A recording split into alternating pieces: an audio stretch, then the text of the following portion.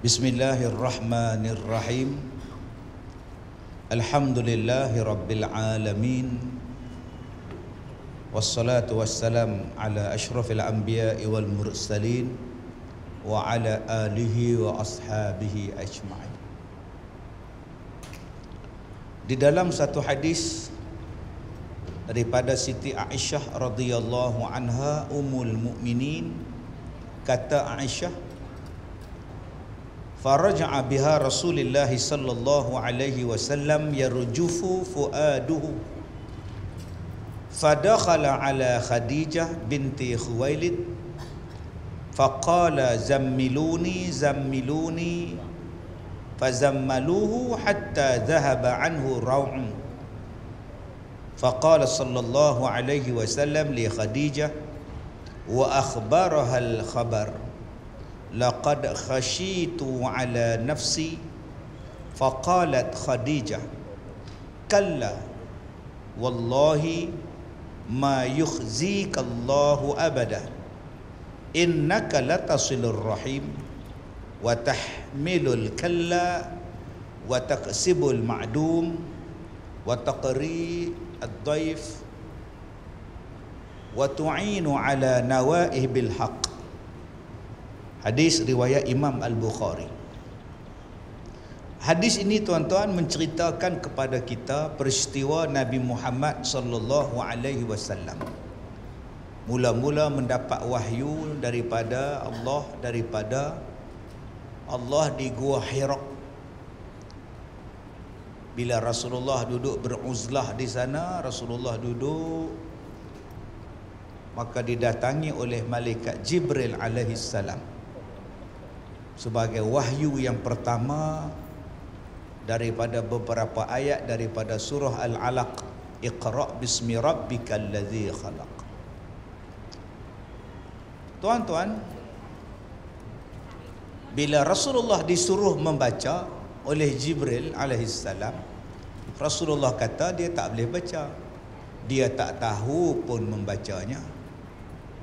Macam mana yang kata nak baca malaikat Jibril kata bacalah baca akhirnya malaikat Jibril mengajar Nabi Muhammad sallallahu alaihi wasallam beberapa ayat daripada surah al-alaq kemudian tuan-tuan yang saya muliakan Baliklah Rasulullah dalam keadaan ketakutan. Baliklah Rasulullah ke rumahnya Siti Khadijah dalam keadaan menggigil. Kerana apa? Kerana pertama kali dipeluk oleh malaikat. Kita ni tuan-tuan baru tengok benda pun kita ketak.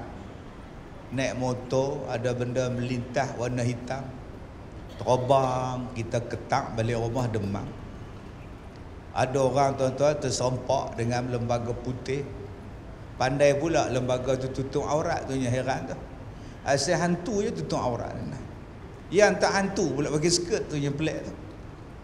Asyik hantu je mesti pakai jubah putih sepak sepak pun tutup aurat balik-balik tu demam tak cakap lah dua tiga hari tak birjah yang Nabi Muhammad ni dipeluk oleh malaikat Jibril alaihissalam. Bila balik dia dalam keadaan takut bertemulah dengan isteri Rasulullah Khadijah binti Khuwailid. Lalu berkata dia zammiluni zammiluni kamu semua selimutkan aku. Kamu semua selimutkan aku. Maknanya di rumah Siti Khadijah tu bukan Khadijah seorang ada orang lain lagi di rumah Nabi Muhammad sallallahu alaihi wasallam yang Nabi Muhammad minta supaya diselimutkan. Ha tu yang turun selepas tu ayat ya ayyuhal muzammil tu. Wahai orang-orang yang berselimut. Sebab dia minta diselimutkan. Maka Khadijah pun menyelimutkan suaminya Nabi Muhammad sallallahu alaihi wasallam sehinggalah hilang ketakutan Nabi Muhammad sallallahu alaihi wasallam. Maka Nabi pun mengadu kepada Khadijah. Sesungguhnya aku takut pada diri aku. Sesungguhnya aku takut pada diri aku wahai Khadijah. Lalu Siti Khadijah sebagai isteri berkata kepada Nabi Muhammad, sallallahu alaihi wasallam kalla wallahi. Tidak sekali-kali demi Allah kata Hadijah Allah tidak akan menghina-hinakanmu selama-lamanya kerana sesungguhnya engkau menyambung silaturrahim engkau memikul bebanan. Engkau menolong orang yang susah. Engkau memuliakan tetamu dan engkau menolong atas dasar hak atas dasar kebenaran tuan-tuan yang saya muliakan hadis ini ada di dalam kitab Al-Bukhari hadis riwayat Imam Al-Bukhari Tuan-tuan yang saya muliakan. Ada beberapa benda yang kita nak sebut di dalam hadis berkenaan dengan Nabi Muhammad sallallahu alaihi wasallam mula-mula mendapat wahyu. Pertama, kenapa yang Nabi ada di rumah? Kenapa yang dalam gua? Dah ada rumah elok-elok. Dan tuan-tuan kena ingat Nabi Muhammad Setengah ada orang kata dia miskin. Ada yang kata Nabi miskin. Hai tuan-tuan. Nabi Muhammad tu kaya tapi dia tak mau hidup macam orang kaya. Sebab tu Allah Taala sebut di dalam surah Wadduha wal laili iza saja. Balik buka surah tu. Alam yajidka yatiman fa'awa wa wajadaka dhalam fahada. Balik buka surah tu. Allah Ta'ala kata bukankah kamu tu dulu miskin dan kami mengkayakan kamu maknanya berkahwin dengan Khadijah Khadijah tu kaya kehidupan Rasulullah pada masa itu bukan susah tapi sebab siapa? Dia memilih duduk dalam gua. Nama dia gua Hirab padahal rumah bukannya susah. Ha ni yang pertama. Beruzlah mengasingkan diri daripada sesuatu yang tak menyeronokkan pada hati. Tak menyeronokkan pada mata. Yang tak seronok pada pendengaran. Yang tak seronok pada iman. Tak seronok maka beruzlah mengasingkan diri orang dulu-dulu dia panggil Nabi Muhammad berkhalwat. Hari ini bila sebut khalwat hotel. Dua pasangan hari ini ditahan dalam operasi mencegah khalwat nampak tak bila khalwat maksiat, maksiat khalwat. Sebab tu kita tak gunakan perkataan khalwat, kita gunakan perkataan beruzlah. Mengasingkan diri daripada orang ramai, tujuan dia apa? Mendekatkan diri kepada Allah Subhanahu wa taala. Sebab apa? Sebab tak boleh tengok apa yang ada di hadapan mata ni. Apa yang di hadapan mata yang Nabi tak seronok? Nabi ni orang baik, dia bukan seronok tengok orang telanjang dekat Kaabah. Kerana pada masa itu orang jahiliah bertelanjang mengelilingi Kaabah bertawaf. Bersiul, menyanyi, bertepuk tangan, bergembira ramai-ramai, enjoy ramai-ramai. Nabi ni orang baik. Pi tengok macam tu pula, ah. Tak boleh. Ini sifat orang baik. Maka kita pun kalau ada sifat yang baik macam tu Kita tak tengok Ini buat rombongan pula Pergi tengok tepi pantai Siap beli teropong kat Rusia Malam jadi siang Abang duk tengok Duk tengok orang bikini Pakat pula dua-dua orang Dua pokoknya Mat Yang ni Rusia ke Ukraine mat Tengok ni Orang yang baik dia tak tengok benda-benda ni tuan-tuan Mata ni dia tak tengok ni. Nabi Muhammad ni dia tak tengok benda-benda ni. Dia tak suka dengar benda-benda macam tu. Tapi dia sayang pada benda yang depa duk keliling. Dia rindu pada depa yang duk keliling. Apa dia? Kaabah. Masjidil Haram tu, Kaabah tu. Tapi nak pergi duduk sekali di situ, orang pakai menjolok mata. Nak campur sekali lagi pula orang baik tak campur dengan benda macam itu. Naik atas bukit. Aku tak mencampur dengan mereka Tapi daripada jauh nampak Kaabah Daripada jauh nampak Kaabah Hilang kerinduan dia Sebab yang pertama Tuan-tuan yang saya muliakan Bila ada orang tanya dekat saya Satu ada ajaran baru Ajaran sesat Dia kata Ustaz Allah tu ada 99 nama Yang seratus itu siapa punya? Hak seratus itu nama apa pula? Ni, kepala otak ni tuan-tuan nak panggil apa ni? Kepala otak berjamu ya apa kan? Dia suka tanya, dia suka tanya, dia suka tanya tapi tak mau main mengaji. Tak mau datang belajar, tak mau ambil kelas betul-betul. Dia suka baca, kemudian dia tanya. Dan dia ajak orang lain bertanya supaya orang lain tadi berada dalam kekeliruan. Tempat suami di sisi isteri. Tempat bapa di sisi anak-anak. Tapi Nabi Muhammad naik atas gua. Nabi Muhammad duduk dalam gua, atas bukit, atas gunung. Tinggal isteri, tinggal anak-anak. Contoh apa ni? Ha, nampak. Dia baca tuan-tuan Nabi Muhammad duduk dalam gua Hira dia baca. Dan dia kaji pula tempat suami di sisi isteri. Kenapa Nabi Muhammad meninggalkan isteri? Oh. Tempat yang terbaik untuk seorang suami, seorang bapa ialah di sisi anak-anaknya. Sekarang kenapa Nabi Muhammad tinggalkan anak-anaknya? Adakah Nabi Muhammad ini contoh yang terbaik sebagai seorang bapa dan suami? Dia menimbulkan kekeliruan, tuan-tuan. Inilah dipanggil syaitan al-khannas min syarril waswasil khannas. Yang kerjanya menimbulkan waswas. Sedangkan Nabi Muhammad sebut apa? Laqad Allah Taala sebut laqad kana lakum fi Rasulillah uswatun hasanah pada diri Rasulullah tu ada contoh yang terbaik dia nak kilah dia kata Nabi bukan contoh terbaik sebab Nabi tinggalkan anak dan isteri dia bersenang-senang dalam gua anak-anak duduk di rumah bagi orang yang tak belajar sirah bagi orang yang tak belajar yang tak jujur hatinya dengan Nabi Muhammad dengan Islam tuan-tuan dia akan beranggapan bahawa kata-kata tu logik Bukan setakat Nabi Muhammad dia petikai. Dia petikai Nabi Ibrahim. Adakah bapak sembelih anak? Mak, kalau mak jadi Nabi Ibrahim, mak nak sembelih tak saya? Aku turut-turut beranak nak sembelih. Ha, dia bawa ajaran. Adakah patut pak sembelih anak? Dia lupa pada ayat Quran wa izibtala Ibrahim bikalimatin fa atammahunna dan kami telah menguji Nabi Ibrahim dengan beberapa kalimah. Dan Nabi Ibrahim menunaikannya dengan sempurna.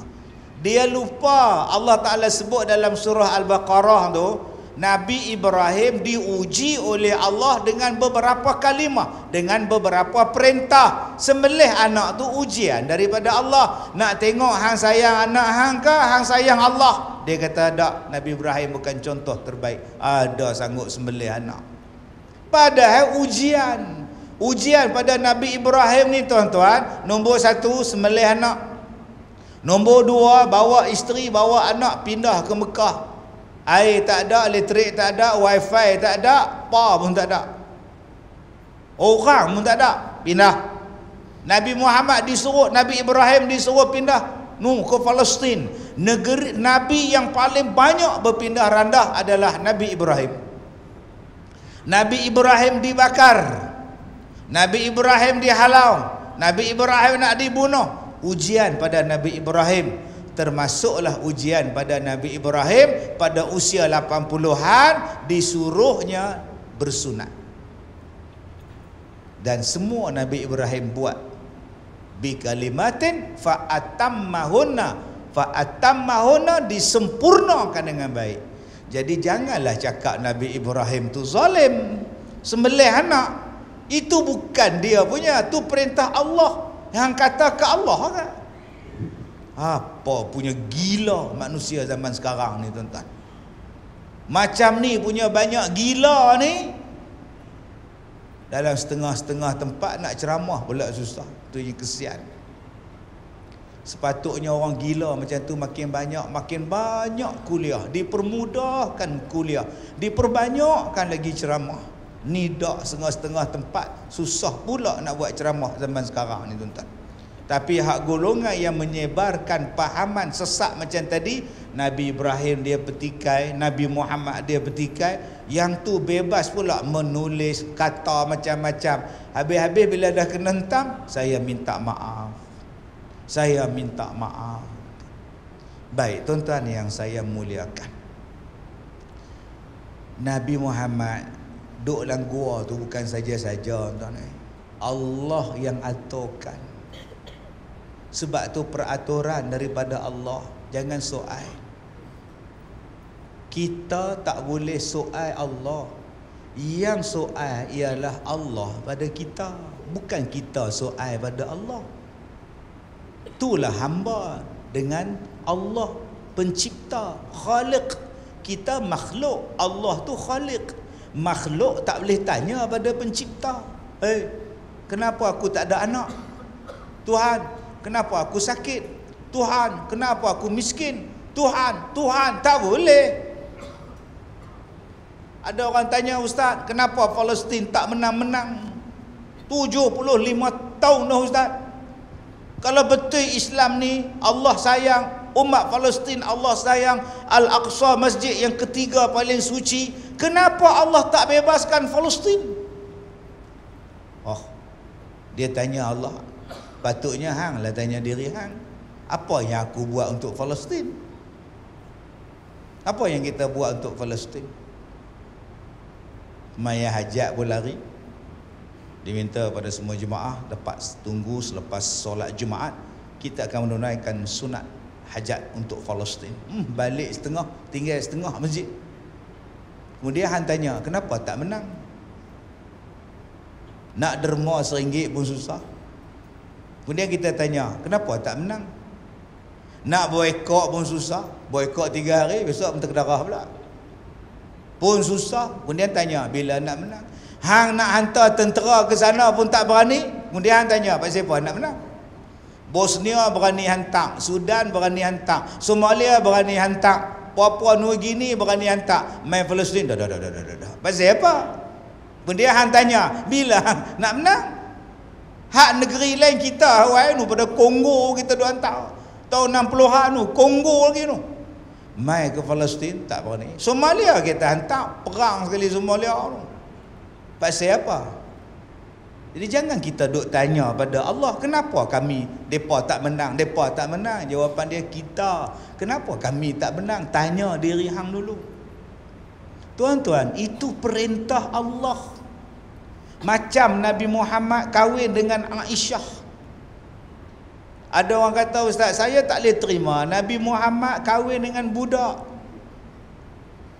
Nabi Muhammad kahwin dengan satu budak umur tujuh tahun, tinggal sekali umur sembilan tahun. Ni apa? Apa dia buat apa pula? Saya senang je cakap, ada ada hadis Nabi Aisyah didera, ada ada hadis Nabi Aisyah menderita, ada ada hadis Nabi Siti Aisyah tu tak terima. Abang tahu tak yang mensuruh mengkahwinkan Nabi dengan Aisyah ialah Allah. Takkan Allah nak buat jahat pada umat dia? Di mana sifat Ar-Rahman, sifat Ar-Rahim? Tak kok-kok dia pun silap oh, Ustaz. Umur dia bukan 7 tahun kok 18 tahun kot. Hanya kan tengok satu hadis dia. Siti Aisyah main anak-anak main patung-patungan anak-anak boneka. Waktu jadi isteri Nabi main boneka dengan kawan-kawan Aisyah. Budak 20 tahun main boneka apa dengan budak-budak? Nabi Muhammad dukung Siti Aisyah tu tengok permainan orang-orang Yaman. Buka lah banyak hadis. Cuma kita kena tengok tu perintah Allah. Perintah Allah ni kadang-kadang dia mencabar iman kita sebab tu orang yang beriman sami'na wa ata'na. Kami dengar, kami taat. Kami dengar, kami taat. Nak mencapai tahap seratus peratus percaya tu pun susah. Dia bukan setakat duk petikai Nabi kahwin dengan Aisyah. Dia petikai kenapa anak dia perempuan kena sunat. Tu pun dia petikai. Tu pun dia petikai. Dia kata ustaz mazhab Syafi'i wajib kan? Ya wajib. Tapi mazhab lain tak dia tak tak tak tak wajib kan? Saya nak ikut hak lain. Inilah penyakit orang sekarang tuan-tuan. Sebab tu kita di Malaysia ni kita amalkan mazhab Syafi'i. Paling memuaskan hati. Saya bagi kepada tuan-tuan satu analogi supaya kita ni faham secara secara ringkas tak payah pening-pening kepala perbezaan-perbezaan mazhab. Kita di Malaysia ni hidup aman damai tenteram sejak beratus tahun yang lepas sebab mazhab Syafi'i. Tauhid yang ini, tasawuf yang ini. Maka kita hidup aman. Tak ada gaduh-gaduh. Tuan-tuan ni nak nampak cantik, tuan-tuan nak nampak kemas, tuan-tuan nak nampak segak bila pi pejabat. Bila pi kenuri, bila pi berjalan. Salah satu yang nampak kemas, kepiah. Kepiah striker elok-elok, baju striker elok-elok, seluar iron elok-elok.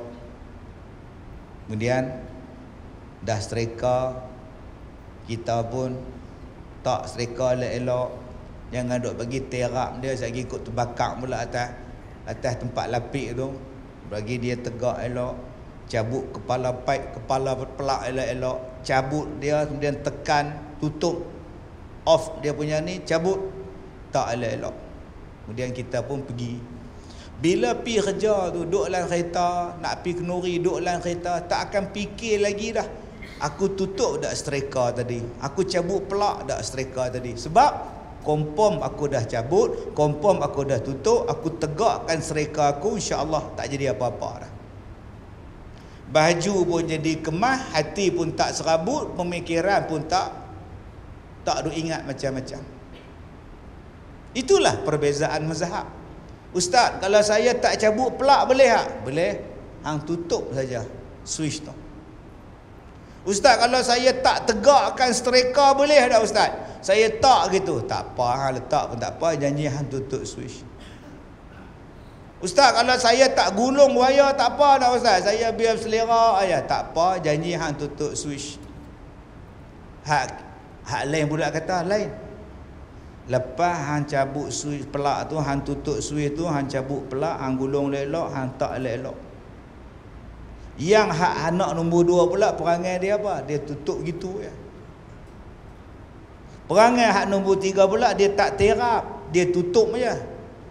Dia terap, dia tak tegak. Dia tak dia tak tak apa nama bagi tegak serika. Dia main tutup switch. Yang hak nombor empat. Dia bagi tegak serika supaya tak kena lantai. Tak kena kain lapik. Dia cabut pelak, dia tutup switch. Dan dia gulung elok-elok, dia pergi kerja. Jadi yang mana yang menenangkan hati?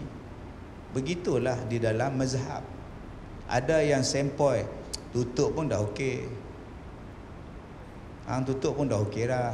Boleh lah. Ada yang kata ada kalau boleh hang tutup, hang cabut pelak tu. Takut karan mai sekali lagi. Tak apa karan tak mai dah. Ada yang kata hang tak cabut pun tak apa. Tapi striker tu hang bagi tegak supaya dia tak kena. Sebab dia panas lagi. Takut terbakar lagi. Terbakar pun meletup rumah hang pula dah. Tuan-tuan, itulah perbezaan mazhab. Semua betul. Janji tutup pelak. Janji tutup pelak, janji tutup switch clear. Tetapi yang mana yang paling clear? Yang paling clear, han cabut pelak, han tutup switch, han sabut pelak elok-elok, han bagi tegak striker elok-elok, jalan. Cuba tengok berapa ramai yang duduk dalam kereta. Duk suami bawa, isteri tanya, "Bang, tadi striker tadi tutup tak?" Mana bantau? Ha, yang setrika. Tapi rasa tutup dah. Tapi rasa macam tak yakin lah bang. Buatnya terbakar rumah kita. Agak-agak tuan-tuan jadi ya pergi Putrajaya. Sebelum jambatan tu patah balik oh. Jangan-jangan patah balik. Nampak kan? Cuba tuan-tuan sebelum keluar daripada rumah, tutup switch, cabut pelak, letak elok-elok striker tempat dia, lipat dia punya iron board tu elok-elok tuan-tuan lepas striker tutup dah tadi? Tutup dah ha. Cabut semua pelak semua cabut dah ha. Letak semua elok dah ha. Nu lepas-lepas tidur sampai Putrajaya. Itulah mazhab syafi'i. Nak buat sesuatu tu sempurna clear. Orang tak tikai. Ha nak ambil mazhab lain silakan silakan. Tak ada siapa kata salah, silakan. Tapi lagi bertembung orang, orang tanya, boleh ke? Boleh ke macam tu? Tahu depa kata boleh. Mai warna pula. Boleh ke? Tak pernah jumpa. Boleh ke? Duk susah hati boleh ke? Boleh ke? Boleh ke? Lah lah jadi apa?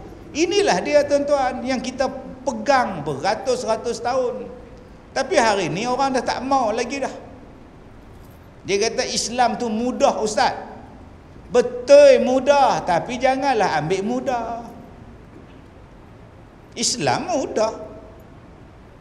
Tapi jangan ambil mudah sangat. Sagi hang jadi tak seronok hidup. Baik, tuan-tuan yang saya muliakan. Balik tentang Nabi Muhammad tadi. Adalah benda lain yang Allah nak bagi pada Nabi Ibrahim bila disuruh semelih. Adalah benda yang Allah Ta'ala nak bagi pada Aisyah bila kahwin dengan Nabi Muhammad. Adalah benda yang Allah Ta'ala nak bagi pada Nabi Muhammad lepas dia diperintah duduk dalam gua. Adalah benda yang Allah nak bagi pada Khadijah lepas dia benarkan Rasulullah duduk dalam gua. Semuanya ni tuan-tuan adalah mempunyai rahsia dia. Ada hikmah tersembunyi. Yang inilah yang datang yang percaya orang beriman. Bagi orang yang iman dia tak ada kerja dia petikai petikai petikai petikai. Rupanya Nabi Muhammad duduk dalam gua. Pasal apa sebab nak menerima wahyu yang sangat hebat. Nak menerima perintah perlantikan rasul yang sangat mulia. Maka dapatlah satu perintah besar dapat satu ayat yang hebat turunnya ayat yang pertama daripada Al-Quranul Karim. Rupanya tuan-tuan ada benda lain Allah nak bagi. Sebab itu jangan petikai perintah Tuhan kenapa saya perlu bersunat ustaz ustaz tahu tak bila bersunat pada orang perempuan kami dah tak merasa lagi kenikmatan bersama. Yang ni satu perempuan, saya buat satu soal jawab di Kuala Lumpur. Kenapa Islam menyuruh bersunat pada orang perempuan? Saya tanya kawan-kawan saya yang tidak Islam, depa tak bersunat. Apa rasa? Apa beza? Apa beza? Uh, makcik ni garangnya. Saya kata, kau oi, kau tak faham. Yang kata berkhitan yang kata bersunat itu macam-macam tuan-tuan. Kau tak faham ni. Tak saya nak tanya satu je. Bersunat ni wajib ke sunat? Wajib. Habis tu kalau dia wajib pak siapa nama dia bersunat?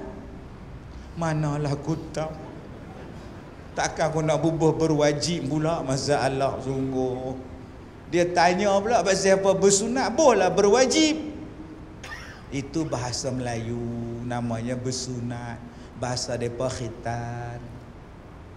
Bahasa Melayu lagi lama masuk Jawi lagi hawa biru. Ha masuk Jawi belum? Masuk Jawi lagi lama entah eh. Saya kata hak laki-laki lain, bersunat laki-laki lain, bersunat orang perempuan lain kat semua. Yang laki-laki membuang kulit khulfah sekian-sekian banyak buang. Yang orang perempuan dia tak buang perhabis macam hak laki-laki buang. Dia melalui luka buang sikit saja. Sebab itu dia tanya pula kalau laki-laki tu baru masuk Islam sunat ada ustaz? Sunat. Kalau perempuan masuk Islam? Dia detail betul tu. Kalau perempuan tua masuk Islam nak buat macam mana ustaz? Oh sudah tuan-tuan pernah tanya tak? Nyonya masuk Islam nak buat apa? Dia bukannya pitarah licin habis majlis tu. Hang lalu luka sikit cukup. Sebab tu saya kata tadi mengaji malah, masuk kuliah malah. Dia suka belajar benda hak simple pada dia. Bila dia mari banyak soal, dia tak boleh fikir. Dia jam. Bila dia jam dia kata Islam tak betul. Padahal dia tak mau ambil mendalam tentang agama dia. Dia mendalam dalam bab lain boleh, mendalam dalam perkara lain boleh, mendalam satu-satu bab dalam agama tak boleh. Ada hikmah dia Allah nak bagi, hampi dulu sagi hang dapat. Hang buat dulu sagi hang dapat. Macam itulah yang berlaku pada kita dan juga kepada para nabi dan rasul yang lain. Buat dulu lepas tu hang dapat. Ada benda lain yang Allah Taala nak bagi Tak ustaz, pasal apa yang Adam dan Hawa ni duk elok-elok dalam surga, pi makan buah yang dilarang, lalah keluar pada surga. Apa cerita ustaz? Ha tu saya duk goyang kepala lah, tanya elok tak boleh. Tak saya lah tanya ustaz.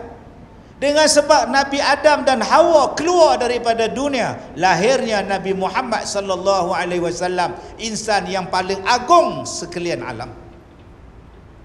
Adalah hikmah Tuhan nak bagi dengan adanya Adam dan Hawa keluar. Hang mu ada, tok kita ada, mak kita ada. Sebab ada tugasan yang besar yang lain untuk Adam dan Hawa. Faham daripada itu siapa yang tak? Yang Khadijah ni pula dia sabar. Seorang isteri yang sabar. Abang nak pi duduk dalam gua pi lah abang weh. Sekejap kalau rasa nak ambil makan abang turun. Abang turun main ambil tak apa anak-anak saya jaga rumah saya jaga. Bila Nabi balik duk ketak-ketak-ketak takut, dia selimutkan suami dia Nabi Muhammad. Dia kata jauh, aku takut jauh. Agak-agak lah kalau Khadijah tu isteri kita lah kita pi mancing mana tu kena jin laut mana tu mambang laut peluk kita di laut tu balik duk ketak agak-agak isteri tuan-tuan kata apa Ha selimut aku jah hai. Apa benda lah mes mes ha tuan kata pi lagi pi pi pi pi. Awak pi semalam pi 3 4 malam. Tu isteri kita. Rumah elok-elok ada gatai. Nak duduk camping lah, apalah. Healing lah, apalah. Pi lah, pi. Nu mungkin bendera awak tak healing kan mungkin bendera. Tu dia. Selimut, selimut juga. Ayak panas dia buat juga. Kopi ala Kazim dia yang murah. Entah. Tapi mulut. Tu beza. Entah. Siti Khadijah dia selimutkan suami dia Suami dia kata, aku takut wahai Khadijah. Aku takut, aku tak pernah jumpa apa benda ni. Apa ni? Tu Khadijah kata, wahai suamiku tak apa. Nanti kita pergi jumpa pak menakan kita. Pak menakan kita ni orang alim. Dia tahu lah kok makhluk apa yang pergi jumpa dengan suami saya ni. Itulah peranan seorang suami kat semua. Janganlah duduk beban Allah tu lagi. Dah lah terbeban banyak dah. Balik-balik rumah. Isteri pula duk beban pula Ya Allah dengan beban Kena saman tak apa lagi Kena beban tu Allah. Mulut pula popek satu flat dengar. Oi diamlah orang nak tidur. Shut up Yo. Oh, Sudah tuan-tuan. Satu flat bergaduh dengan isteri kita. Allah Nak pergi masjid pun malu tuan Jadi tuan-tuan yang saya muliakan. Ha subhanallah. Macam pengalaman tu, tu. macam pernah rasa tu. baik. ya? Benda sungguh no? Oh subhanallah masya baik tuan-tuan yang saya muliakan. Siti Khadijah kata wahai suamiku jangan duk kelang kabut duk diam-diam dia kata tenang-tenang. Nabi Muhammad ni Siti Khadijah sumpah kalla wallahi tidak sebegitu wahai suamiku. Demi Allah kata dia kalla wallahi ma yukhzikallahu abada. Allah tidak akan mensia-siakan kamu selama-lamanya. Nampak tu Siti Khadijah cakap dekat Rasulullah wahai suamiku Allah Taala tidak akan mensia-siakan Rasulullah mensia-siakan engkau selama-lamanya. Ha, ini dia. Jadi tuan-tuan, kita rasa tak hari ini Allah macam tak perhati kita. Kita nak tak supaya Allah tengok kita, Allah layan kita. Kita nak tak supaya doa kita mustajab. Kita nak tak supaya Allah Ta'ala ni kasih pada kita. Macam mana Allah Ta'ala kasih pada Nabi, sayang pada Nabi, jaga Nabi. Nak ustaz? Kalau gitu jadilah apa yang Nabi buat. Jangan kita jadi Nabi. Ha, dia kata ustaz saya pun nak jadi Nabi ustaz. Eh, kok, kok Allah jaga saya. Kebetulan nama saya Yasin. Ha, elok. Dia baca surah Yasin tu, Yasin wal Qur'anil Hakim, innaka laminal mursalin. Yasin, demi Al-Quran, engkau adalah rasul. Ah, subhanallah. Ha. Buat tenang, ini parah ni, parah ni. Tenang, tenang, tenang. Ini parah ni tuan. Tuan-tuan yang saya muliakan. Dia mengaku yang diri dia nabi. Kita bukan nabi tapi kita buat apa yang nabi suruh buat. Kita amalkan apa yang nabi suruh kita buat. Sebab itu kalau kita nak supaya Allah pelihara kita, Allah Taala jaga kita, kita buat apa yang nabi buat. Insya-Allah Allah jaga kita. Masalah kita hari ini nak Allah jaga kita tapi hak Nabi buat kita tak mau buat. Musuh lagi pula. Musuh pula. Kalau hang tak jumpa jangan cakap tak ada. Sampai baca Al-Fatihah lepas mayang musalah. Kalau hang tak jumpa jangan cakap tak ada. Siap sumpah lagi. Demi Allah, Nabi tak baca Al-Fatihah lepas semayang. Siap sebut demi Allah lagi. Tak kalau nak sebut Al-Fatihah apa masalah? Apa masalahnya kalau baca surah Al-Fatihah lepas semayang? Apa masalah? Aduh, semua jadi masalah tuan. Lama-lama tak buat apa. Kenapa tak pergi Mekah? Dia kata unta kurus tak ada dalam Quran pilih haji nanti akan datang haji dengan keadaan unta-unta yang kurus. Dia kata kami terbang ke unta. Sampai mati tak pergi Mekah. Unta kurus tak ada. Inilah tuan-tuan sempitnya pegangan dan pahaman kita. Sampai pada satu tahap lama-lama tak ada ibadat. Patutnya kita ni makin tua makin banyak ibadat. Ni makin tua kat semua eh, makin kurang ibadat. Zikir makin sikit, semayang sunat makin sikit. Sedangkan Nabi kata kepada Rabi'ah. Rabi'ah ni semayang dengan Rasulullah, semayang malam. Rabi'ah ni laki, bukan perempuan kat nak oi. Kita ni faham Rabi'ah tu perempuan. Rabi'ah ni dia semayang dengan Rasulullah, semayang malam. Habis mayam malam Rasulullah tanya kepada Rabi'ah Apakah keinginan kamu wahai Rabi'ah? Oi tuan-tuan bayangkan Rabi'ah ni Rasulullah tanya Hang nak apa? Ha, Bahasa kita. Tuan-tuan Nabi ni Nabi kekasih Allah. Dia tanya dekat Rabi'ah pula Hang nak apa? Subhanallah. Saya nak bersama Rasulullah dalam syurga. Itu permintaannya. Saya nak bersama Rasulullah dalam syurga. Boleh tak? Ada tak yang lain pada tu? Tak ada Rasulullah. Yang tu saja. Kalau demikian tolonglah diriku dengan membanyakkan kamu sujud. Mudah-mudahan dapat kamu bersama aku di dalam syurga. Maknanya kalau nak bersama dengan Nabi, perbanyakkan sujud, perbanyakkan solat sunat. Simple jawapan dia. Sebab tu kita main terawih. Buatlah banyak-banyak. Pak siapa dulu 20 lah tinggal sikit. Sedangkan dan Nabi kata perbanyakkan solat sunat. Solat apa? Umum. Umum buat. Sunat sebelum Jumaat, sunat selepas Jumaat buat. Nabi tak pernah sebelum Jumaat potong dua orang. Nabi tak pernah sunat sebelum maghrib Dua lagi potong Nabi tak pernah buat dua puluh Potong pula dua belah Lama-lama tinggal apa? Tak ada Langsung tak ada Kemudian Ya Allah Tempatkan aku bersama dengan Nabi dalam syurga Nabi dah bagi dah rahsia dia Banyakkan sembahyang sunat kita pula kata, pasal apa hang bangkit semayang ni? Saya buat tahajud. Mana boleh tahajud? Pasal pula hang belum tidur. Saya tak boleh tidur. Tak boleh tidur, tak boleh tahajud ni. Atau bila nak tahajud, tidur dulu. Saya selalu tidur pukul tujuh pagi. Ha, lepas tidur ha. Tu sesat terus entah ni. Mana ada tajuk pukul sembilan. Oh, susahnya nak buat ibadat sekarang entah. Jadi penin kepala entah ni. Buat maksiat tak penin. Yang peninnya jadi buat ibadat. Tuan-tuan yang saya muliakan.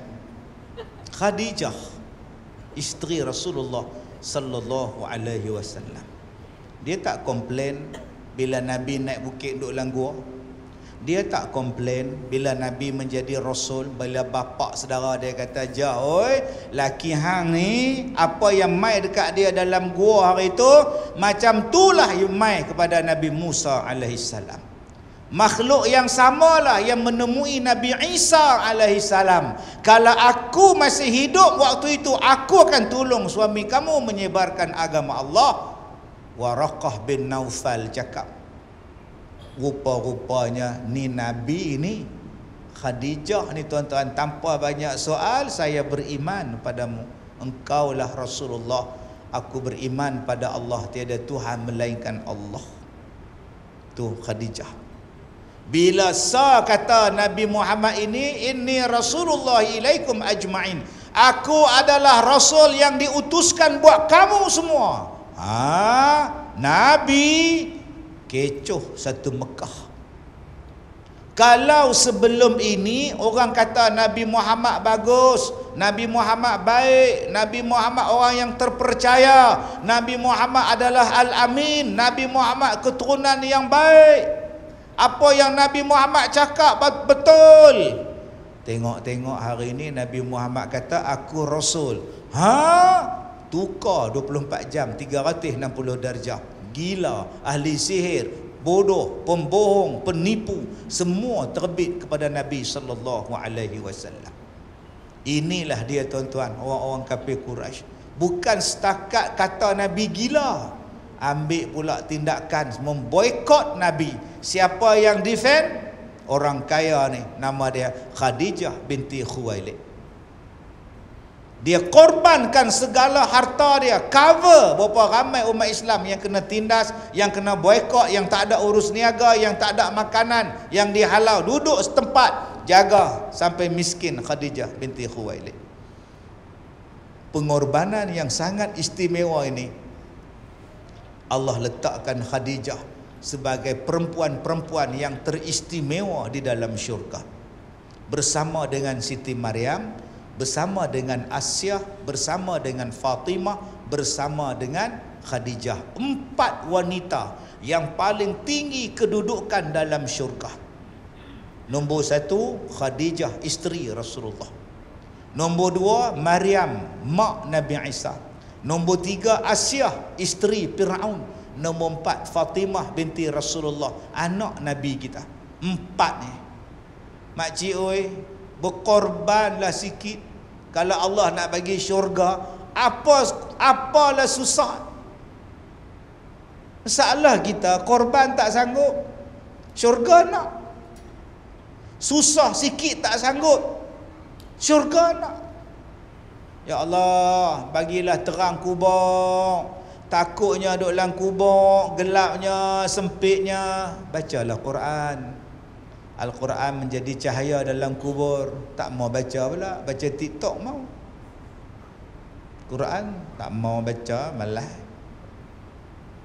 Ya Allah, jadikanlah taman-taman syurga dalam kubur aku, Ya Allah taman-taman syurga waktu hidup tak mau mai nama dia apa majlis ilmu mai lah kok-kok nanti cerah dalam kubur jadi taman dalam syurga Ya Allah, aku takut kena seksa dalam kubur. Kalau begitu, basuhlah kencing elok-elok. Ni kencing pun tak basuh.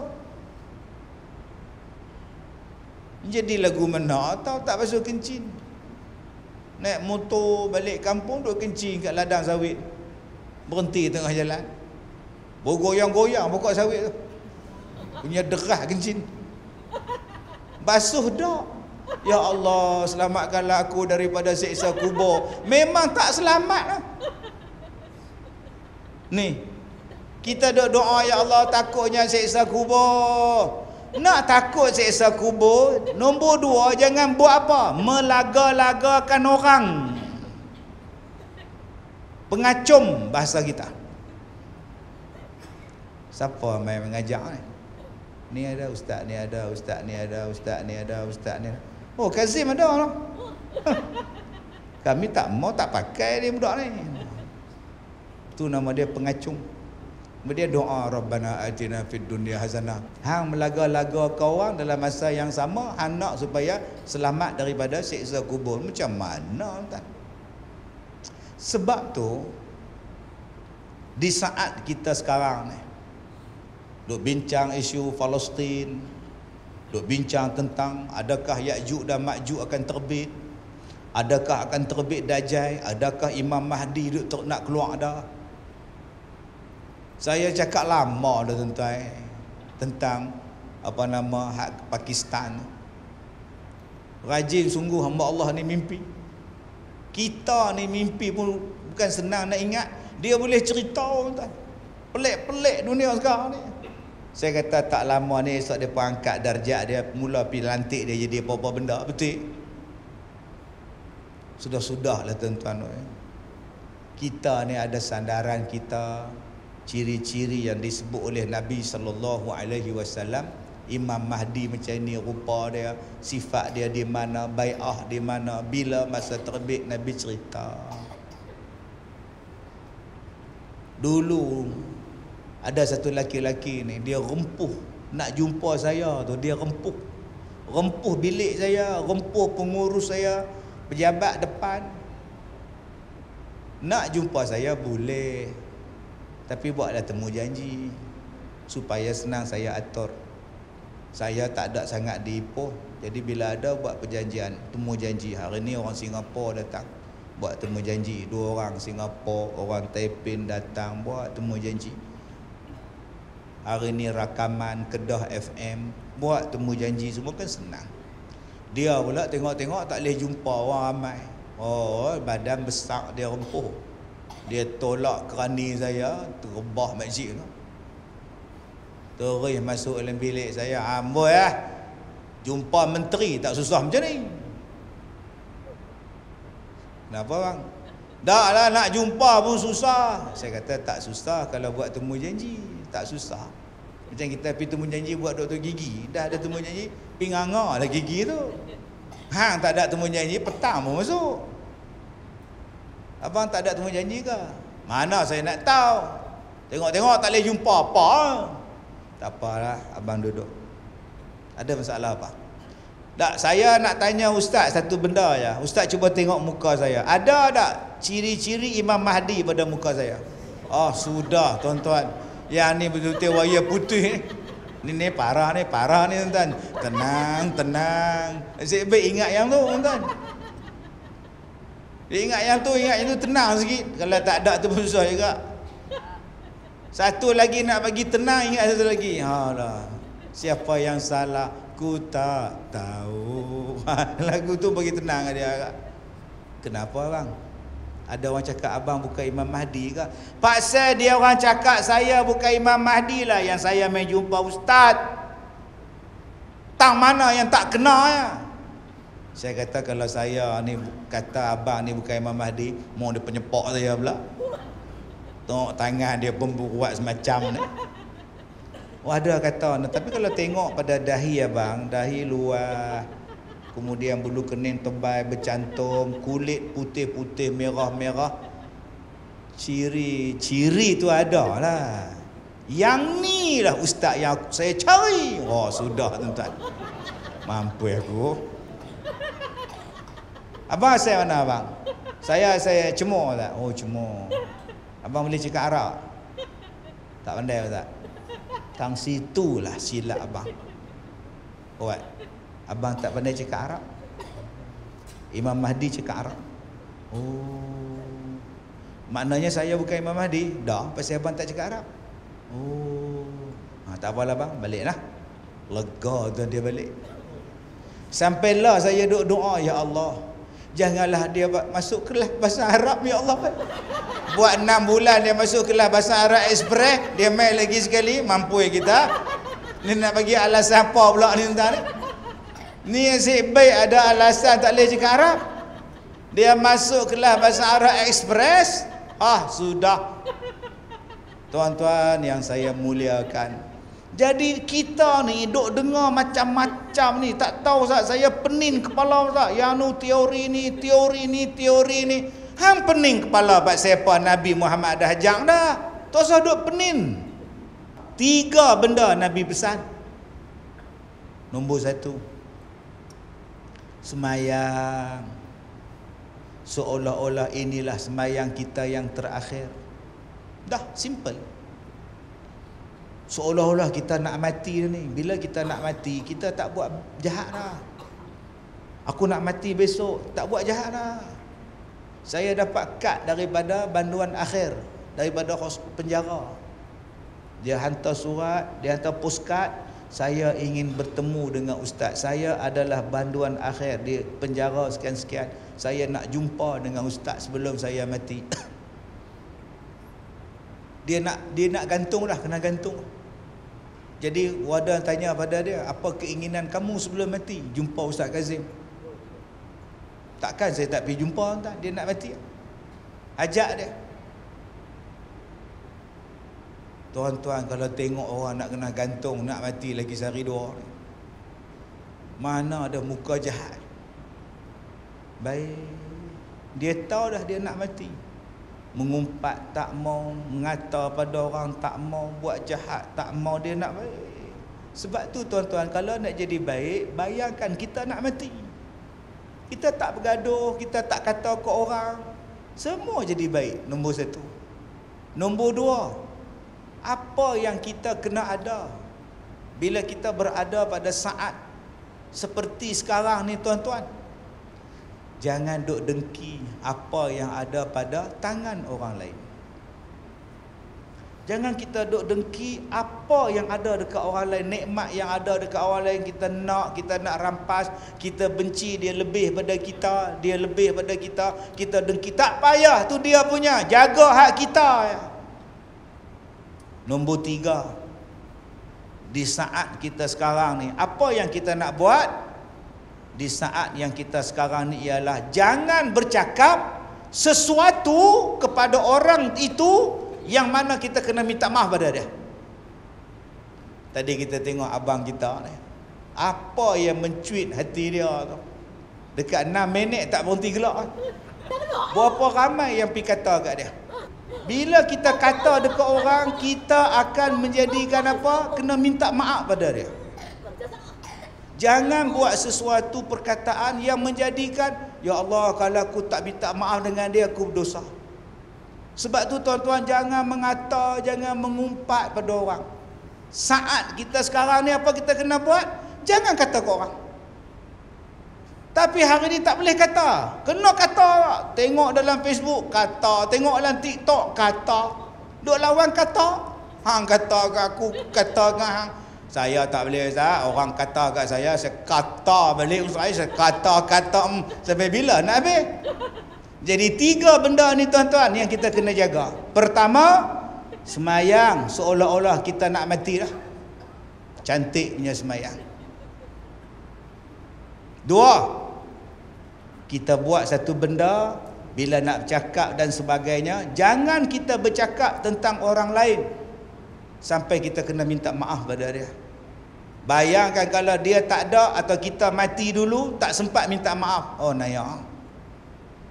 Sia-sia tuan-tuan. Sebab tu wartawan duk tanya saya ustaz apa pendapat ustaz ni? Ada artis lah bergaduh dengan mak pasal rumah? No comment. Bergaduh pasal adik-beradik lah. No comment. Saya tak tahu saya tak tahu saya tak mau tahu banyak benda lain saya kena buat. Penyakit saya pun ada habis saya layan penyakit saya ustaz ni nak tanya pendapat ustaz ni ah, sah ke tak sah ke apa saya tak mau komen dah dah dah, dah. kita ada mufti kita ada rujuk pada mufti selesai masalah simple hidup kita ustaz ni nak tanya pendapat ustaz ni ada ada ada tak payah dah Benda hak tak ada kena mengenal dengan saya aku suka hampa dah. Bukan lagi dah nak ambil tahu lah tuan Kita duduk diam sudah. Duk kata dekat jiran nikah baru. Tua dah nikah baru buat apa ingat mati. Tapi ampi kat dia aku tak mau dengar, aku tak mau dengar. Bila kita komen, komplain, kita bagi komen, ah dia balik. Kahwin lain ke? Oh, kahwin. Dia berapa? 82. Ni ha, ha, isteri dia ni 66. Mau kahwin juga no. Tu lah kata kata kubok kata mai dah nikah lagi tak tahu lah. Ha, dia mula start dah. Dah tua-tua nikah nak buat apa? Kita kata biar biar depa menikah lah. Depa tahu lah nak buat apa. Nampak tak? Tu belum masuk nikah seorang lagi pula. Oh, banyaknya tuan-tuan. Sia-sia kita hidup ni. Nombor tiga, jangan dengki dengan orang. Jangan hasad dengan apa yang ada pada harta orang. Jadi, yang terakhir. Khadijah dengan sabarnya dia, dia jadi wanita yang empat paling istimewa di dalam syurga. Bagaimana Khadijah mensabarkan Nabi Muhammad mententeramkan Nabi Muhammad, menguatkan jiwa Nabi Muhammad, dia sebut kebaikan suami dia. Kata Khadijah, wahai suamiku, Allah Ta'ala tidak akan mensia-siakan engkau. Sebab apa? Sebab yang pertama, engkau adalah orang yang menyambung silaturrahim. Jadi tuan-tuan, kalau kita nak Allah Ta'ala pelihara kita, tolong jaga silaturrahim. Tolong. Jangan sampai kita benci, membenci, tak cakap. Sekarang nak bagi salam pun tengok orang. Nak jawab pun tengok orang. Abang tak jawab ke salam orang tu? Tak payah eh. Dia belah sana, payah. Belah sana. Abang tak pergi tengok dia mati bang. Elok. Dia bukan pangkah kita pun. Nampak tuan-tuan? Abang tak pergi kenuri dia pun. Hmm, malah. Dia belah sana. Belah sini belah sana menjadikan kita berpecah belah. Lama-lama Allah tak jaga kita. Sayang dia tuan-tuan. Lepas ni tak usah duk kira belah. Tak usah kira belah. Saya ingat tuan-tuan saya ni jumpa macam-macam. Dulu-dulu tahun 90-an kalau dia buat kenuri jangan pi jangan pi rumah dia Kenapa? Dia tak pernah main surau. Orang macam tu kena ajak lah. Dia mati ke, dia kenuri kita jangan pi. Tu zaman 90-an. Zaman sekarang tak boleh dah. Kenal pasti mana yang tak main. Pi rumah dia. Ni yang kadang-kadang tablet buat. Kita tak mampu buat macam tablet buat. Pun pi tuan Assalamualaikum, Assalamualaikum, Assalamualaikum. Jemputlah, jemputlah. Tadi saya nyembang dengan satu pak cik. Dia ni orang orang Inustan. Lepas sembahyang Jumaat, saya cakap Inustan dengan dia. Dia renam ke he. Ridwan, Ramzan gitu dia. Oh, sedap. Saya pun cakap dua tiga patah perkataan Urdu. Dia pun kata dekat saya, dia kata Allah tak tolong kita sebab kita tak datang subuh macam sembahyang Jumaat. Kita tak kuat. Allah pengurusi masjid kata saya nak style, nak tiru style tablet lah ustaz. Nak pi rumah hak mana tak sembahyang kita ziarah. Kita ajak dia mai. Ha oh, saya elok. Bagus sangat saya sokong. Okey supaya kita sambung silaturahim. Kalau dulu jangan pi rumah dia, dia tu tak main masjid. Jangan pi rumah dia, jangan bagi korban kat dia. Jangan panggil dia kenuri. Kalau dia kenuri jangan pi. Yang hak tak pi kenuri pula rumah dia tu pula boleh kan. Hampa tak main pun tak apa, budak tahfiz banyak. Apa aku buat kenuri aku panggil tahfiz. Hampa tak nak mandi mayat aku pun tak apa, nanti bini aku panggil. Hari ni dah ada dah pengendali jenazah. Upah depa lagi senang. Dua-dua bertelagah. Siapa yang rugi tuan-tuan? Bila kita ada dasar boykot memboykot, pulau memulau. Sudahlah. Kalau kita nak Allah Ta'ala jaga kita, kita tiru Nabi Muhammad. Apa dia Nabi Muhammad buat? Menyambung silatur rahim. Saya tak kata saya bagus. Nak muzbillah, minta maaf. Saya bukan riak. Cuma saya sebagai guru tuan-tuan. Saya cerita apa yang saya buat? Bila hari ini saya nak baca khutbah jemaat saya masuk ke pintu belakang. Kan di belakang tu selalu budak-budak lepak. Saya panggil Abdul Samad mat buat barisan mat. Saya sedekah kat depa. Setiap minggu tiap-tiap kali Lama-lama tuan-tuan, kawan-kawan saya ramai pada budak-budak.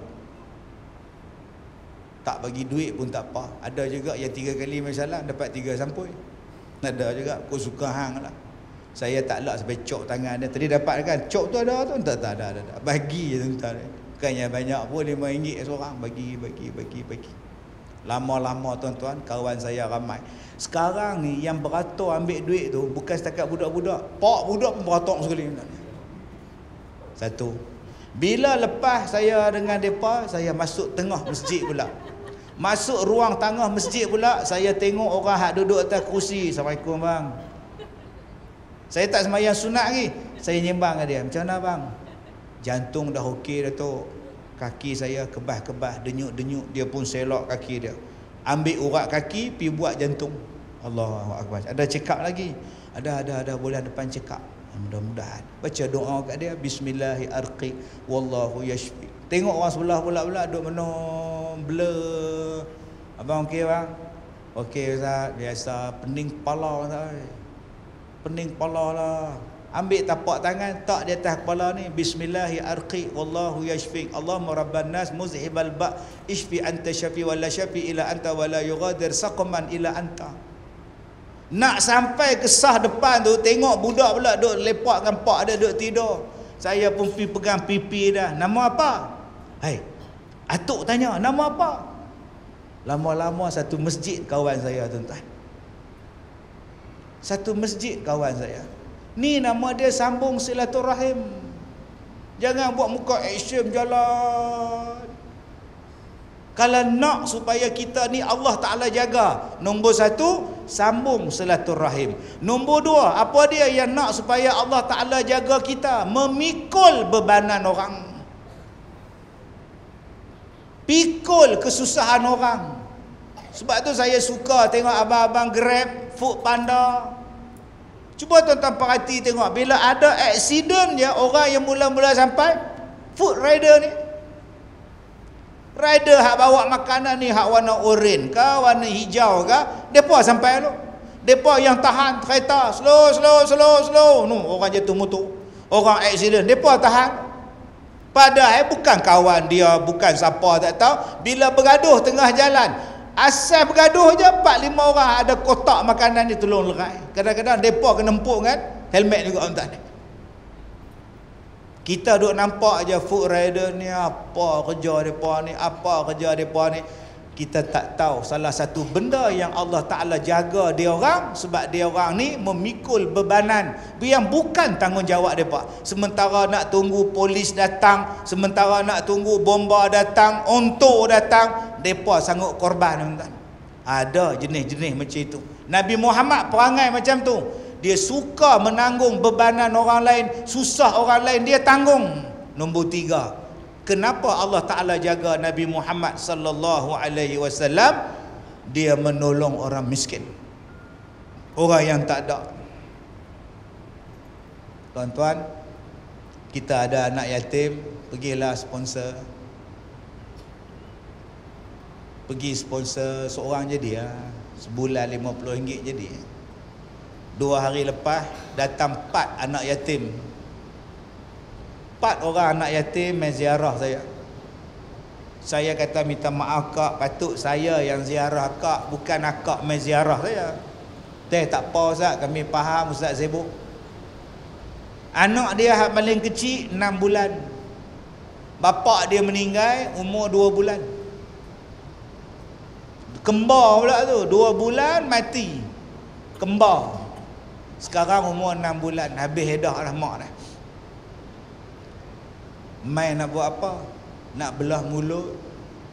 Nak suruh ustaz belah mulut. Saya kata kak eh tua dah budak ni enam bulan dah. Tak payahlah kot. Tapi nak buat juga tak apa. Kita belah pi lah jadilah anak angkat kita kita boleh bayar televisyen 100 lebih sebulan kita boleh bayar insurans medical card 100 ringgit sebulan kalau saya sakit ada medical card ustaz kalau abang mati medical card tu mana medical card bila abang sponsor anak-anak yatim tadi fa ammal yatim fala taqhar Allah sebutkan dalam Quran anak-anak yatim jangan kamu sia-siakan. Saya suka tuan-tuan. Tadi saya habis balik sembahyang Jumaat, saya balik ke pejabat. Saya tengok makcik pondok ni dengan beg besar dia, beg plastik dia duk tunggu anak mai jemput. Saya buka cermin tingkap. Assalamualaikum. Nak balik dah. Makcik tu dia Assalamualaikum. Eh kak, nak balik lah. Dia tengok muka saya. Makcik ni bela ke apa? Orang sebelah dia kata, Hoi, Ustaz Kazim tu. Ah, Orang macam tu pun saya bela. Panggil lah empat kali dia tengok. Orang susah. Tak apa dalam otak dia, kita pun tak tahu. Yang mai jumpa saya pula, saya kata nak pergi Singapura. Hari Senin saya nak pergi Singapura. Ah, anak kak ada di Sarawak. Masa bila pula aku cerita Sarawak? Kita cerita Singapura, dia pergi cerita Sarawak pula dah. Astagfirullahalazim. Saya teringat cerita Doremi. Assalamualaikum pak. Ada ada ada ada. ada. Rupa kapak tuan Teringat sebiji. Orang susah. Dia tak dengar sound trouble. Saya tanya Pak Sepa jadi pekak. Dia kata ubat makan banyak jadi bengang. Yang tu saya bela. Orang tak ada, orang miskin, anak tak ada, susah. Mudah-mudahan Allah pelihara saya. Tu yang seronok tuan. Seronok Allah pelihara ni seronok tuan. Kalau nak rasa seronok Allah pelihara, pi jaga orang susah. Yang keserusnya tuan-tuan kata Khadijah, wahai Rasulullah, wahai suamiku, engkau memuliakan tetamu. Jom tuan-tuan, kalau tetamu datang rumah, alhamdulillah. Jangan bila tetamu datang tanya pula. Mai berapa? Dok nyimbang dengan isteri. Bang. No, Haji Mat mai no. Mai berapa? Tanya pula, mai berapa? Patutnya Assalamualaikum Haji Mat. Ya Allah, depa tangan pi peluk. Patutnya seronok tetamu datang. Yang tak seronok, tetamu tak mau datang. Ni laki bini seronok tetamu tak mai. Seronok apa anu duduk sini? Tak ada siapa mai. Loh. Naya sungguh hang ni tak dapat kebaikan Allah jaga. Jadi bila tetamu datang muliakan. Muliakan tu apa? Pakailah baju lawa sikit. Ni kem pelekat setengah paha pusat besar lima kupang duk tengah ngah boroi perut duk isak kok dong ngongang-ngongang ni apa bila depa datang layanlah depa bercakap jangan buat muka serius je. Abang sihat ah? Boleh ah. Ni kak kak sihat hmm, dia macam tu. Anak-anak abang macam mana? Ada.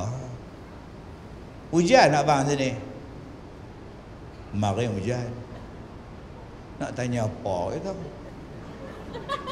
Ada musim apa ni? Musim apa? Musim apa? Banyak dah. Apa aku nak tanya tu? Berah berah tempatan ada sini. Oh, lalas tanya berah tempatan kan. Cubalah layan dia bercakap. Abang sihat? Alhamdulillah sihat. Hari tu demam. Ada tiga hari tak kebah-kebah pergi klinik juga lah. Doktor kata COVID. Ha, COVID lari balik terus tuan Allah Allah. Bukan lama lagi nak nyembang dengar COVID belak terus tuan ni. Barulah rasa seronok. Layan tetamu bagi dia makan. Jangan dah dua jam duduk. Dia nak balik kita pula cakap. Eh nak balik dah. Eh tak minum apa pun. Dua jam setengah Takkan dia nak pergi tekan cowai sendiri. Dia pergi ambil kopi ala Kazim, tekan dengan cowai, bumuai panas tu. Kowe Ustaz, bukan cowai. Tak tahu saya ikut ejaan cowai. Tuan-tuan, termasuklah benda yang kita kena buat pada tetamu ialah habak dekat dia kiblat kalau dia nak semayang. Mat, kiblat rumah hang belah mana? Kiblat ah. Hari tu mak aku mai dia belah sini. Hang hang mayang belah mana? Aku belah sana. Oh sudah tuan. Apa kejadah hang ni kiblat pun tak tahu mampu tuan ni. Dan yang terakhirnya tuan-tuan Nabi Muhammad ni Allah Ta'ala jaga dia sebab dia menyatakan kebenaran, dia menolong atas kebenaran. Bercakaplah yang hak walaupun orang tak suka. Cakaplah. Allah Ta'ala akan jaga kita. Jangan takut untuk bercakap tentang kebenaran. Jadi itulah lima perbuatan yang Rasulullah buat yang Allah Ta'ala lindungi Nabi Muhammad, jaga Nabi Muhammad. Mudah-mudahan kita buat lima benda ini, Allah Ta'ala juga akan menjaga kita. Saya minta maaf jika terkasar bahasa. Jadi bagi tuan-tuan yang nak membantu sekolah saya tu ramai yang minta ala kazim duk tengok sepanjang jalan je tuan-tuan. Hari ni saya bawa tuan-tuan pilah bantu dengan ala kazim tadi. Terima kasih semua. Saya minta maaf jika terkasar bahasa. Wabillahi taufiq wal hidayah. Assalamualaikum warahmatullahi wabarakatuh.